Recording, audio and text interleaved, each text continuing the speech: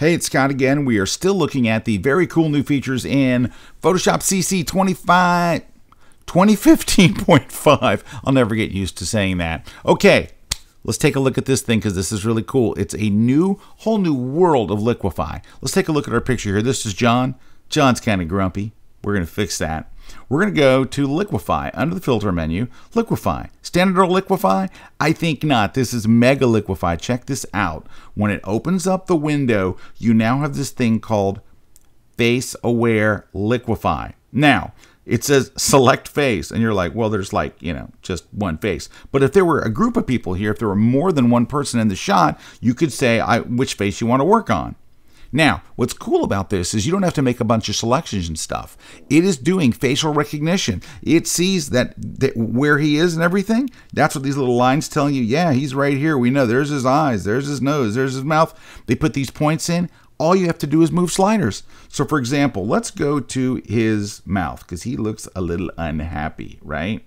So let's go to his mouth. There's a, a smile slider. Watch. I can just Come on, John. It's not so bad. There we go. Just a little bit of a smile. Thanks. You can move his upper lip. If you want him to have a sneer, right? I don't think we really want him to have a sneer. We're trying to make him happier, right? Um, then we've got uh, the lower lip, right? You can make him talk. Hey, what's up? Where? All right. Then you've got the width of his mouth, right? You can do the the height of his mouth for more talking. Hey, what are you doing? Okay, so there's there's really this is this is my daughter's just going to love this. Anyway, um, you can do all kinds of things in here. Now, he's got a very nicely shaped nose, which of course makes me angry. So I'm going to make his nose wider. You can make it thinner or wider. Uh, his nose height so you, I mean, it's just, it's amazing the controls that are here. You can do his eye size. And I don't know why you'd want to make his eyes bigger, but I guess you could if you wanted to. You can do the height, the width of his eyes. There's all kinds of things that you can control. And the tilt, the eye distance and all. So look at the distance between his eyes. I mean, it's just ready to go. Um, face shape. So you can control his forehead, right? You can control his chin height, right? And let's tuck that in a little bit. His jawline, look at that. And then even the width of his face.